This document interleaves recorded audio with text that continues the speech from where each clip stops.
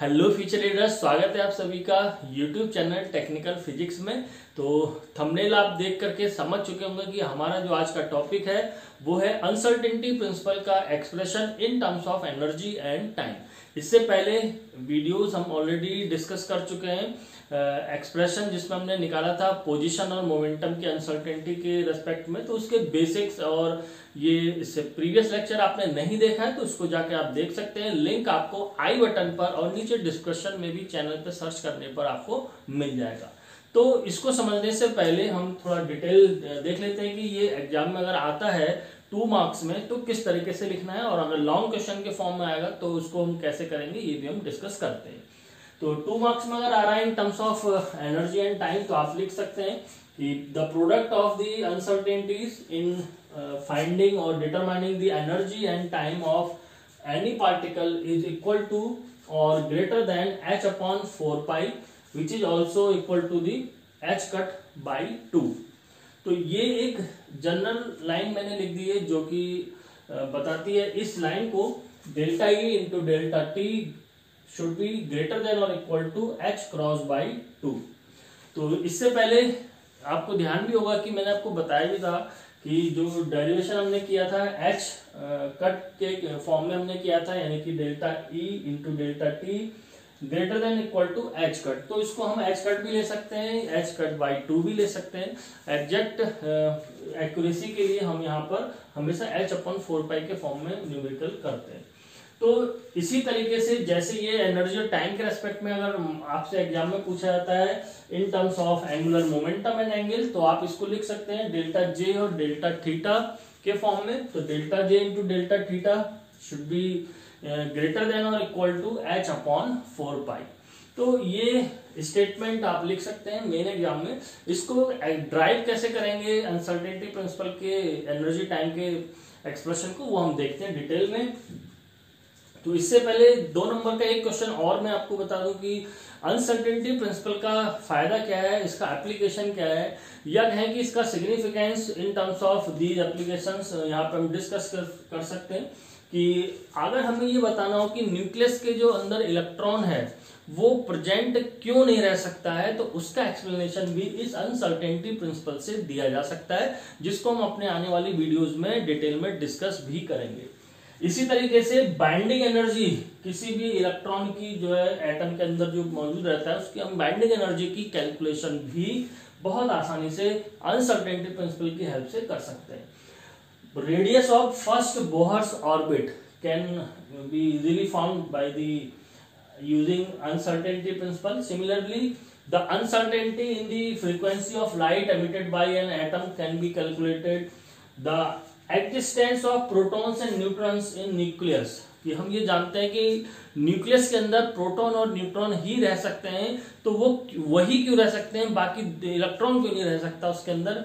ये भी हम इससे ड्राइव कर सकते हैं। तो बहुत सारे एप्लीकेशंस कह सकते हैं कि इसका जो सिग्निफिकेंस है अनसर्टेनिटी प्रिंसिपल का, इन सब बातों के वेरिफिकेशन में भी है। तो इसीलिए ये इतना इंपॉर्टेंट हमारा क्वांटम फिजिक्स की हम बात करें तो मेन यूनिवर्सिटी एग्ज़ाम में ये अनसर्टेनिटी प्रिंसिपल आप ज़रूर तैयार करके जाएँ। किसी भी यूनिवर्सिटी का अगर आप एग्ज़ाम दे रहे हैं, चाहे बीएससी के हैं, चाहे बीटेक में है, या फिर किसी कॉम्पिटेटिव एग्ज़ाम की बात करें, वहाँ पर भी ये क्वेश्चन बहुत ज़्यादा पूछा जाता है। तो चलिए देख लेते हैं कि किस तरीके से इसको हम ड्राइव करेंगे।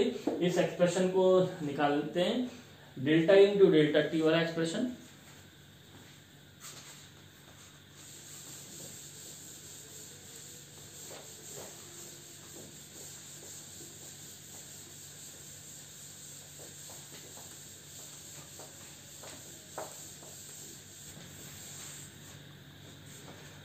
so students to determine the energy and time uncertainty principle जिसे टाइम एनर्जी अनसर्टेनिटी प्रिंसिपल भी कहा जाता है तो इसको निकालने के लिए हम कंसिडर करते हैं यहाँ पे। Let's consider a free particle कोई फ्री पार्टिकल हम मान ले रहे हैं जिसका मास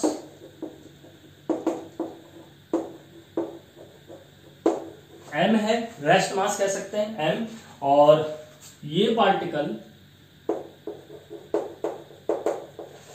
मूव कर रहा है अलोंग एक्स एक्सिस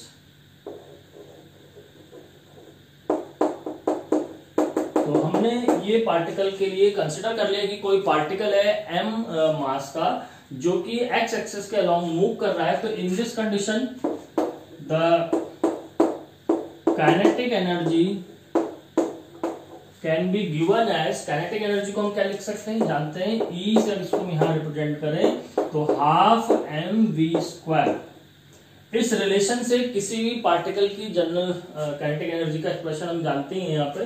ध्यान रखना है कि ये एम यहाँ पर हमने क्या कंसिडर किया है? एम हमने यहाँ पे पार्टिकल का मास माना है, जो मान लिया कि वो रेस्ट मास है तो ये वैल्यू हो जाएगी, लिखी जा सकती है M square V square by two M M से मैंने डिवाइड और एम से मल्टीप्लाई कर दिया, इसलिए ताकि हम यहाँ पर मोमेंटम का फॉर्म इंट्रोड्यूस कर सकते हैं तो इसको क्या लिख सकते हैं?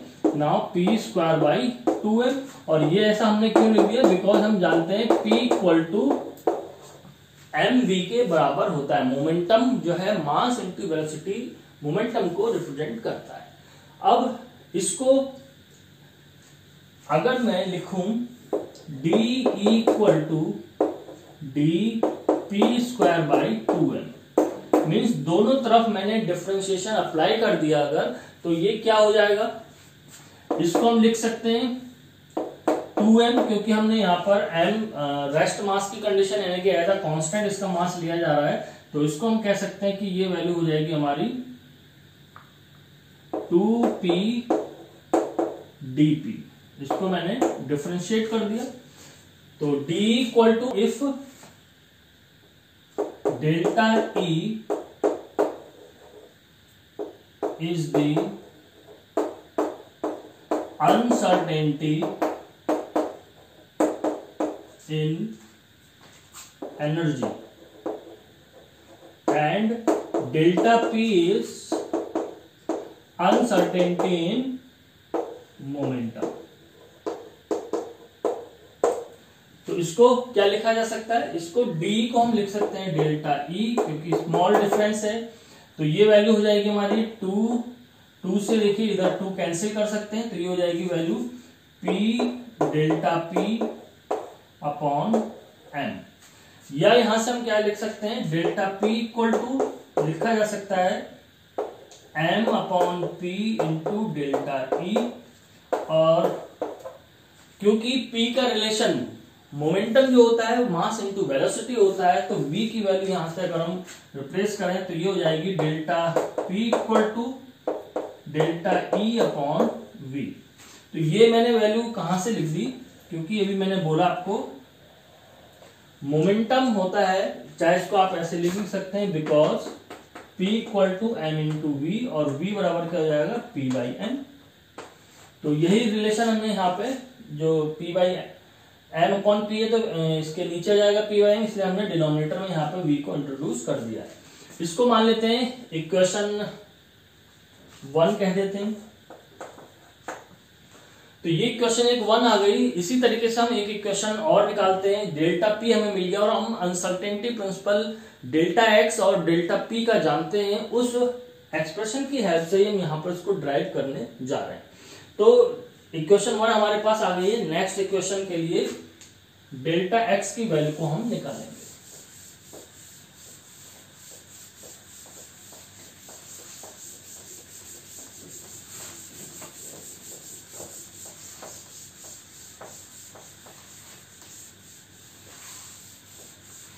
तो यहाँ से देखिए, डेल्टा एक्स की वैल्यू के लिए हम कंसिडर कर लेते हैं।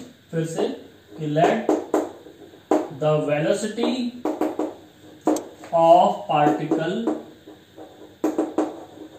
is V तो अभी हमने जो कंसिडर किया था कि पार्टिकल एक्स एक्सेस के अलोंग मोशन में है, जिसका मास m है तो मान लेते हैं कि उस पार्टिकल की वेलोसिटी v है, जो कि डिनोट की जा सकती है।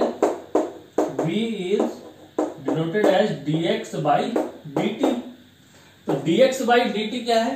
Change in position with respect to time is always known as the velocity तो dx जहाँ पर अनसर्टेनिटी इन पोजिशन को रिप्रेजेंट करेगा, dt जहाँ पर अनसर्टेनिटी इन टाइम को रिप्रेजेंट करेगा।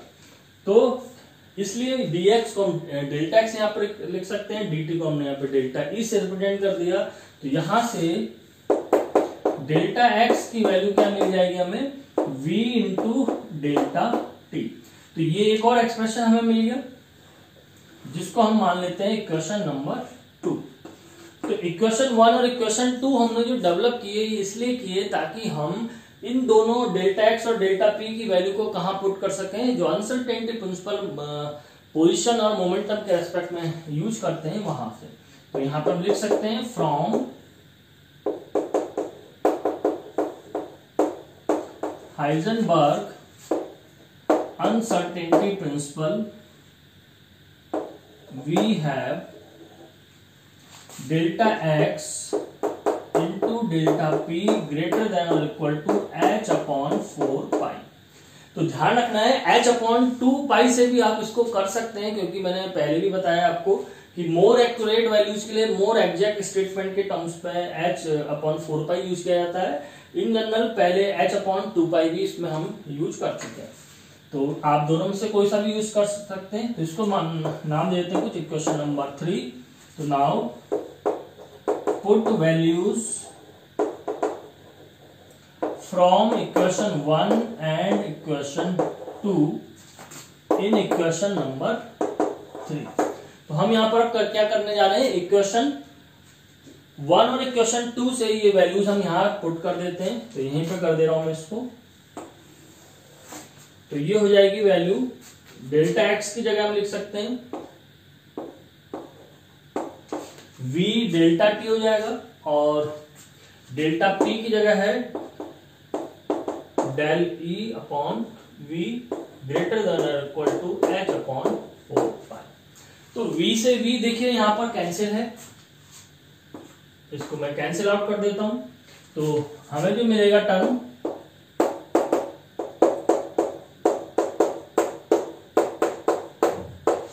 तो delta E into delta T should be greater than और equal to always H upon four pi इसको हम नाम दे देते हैं क्वेश्चन नंबर फोर तो ये जो क्वेश्चन फोर निकली this is the uncertainty principle this equation four represents the uncertainty principle in terms of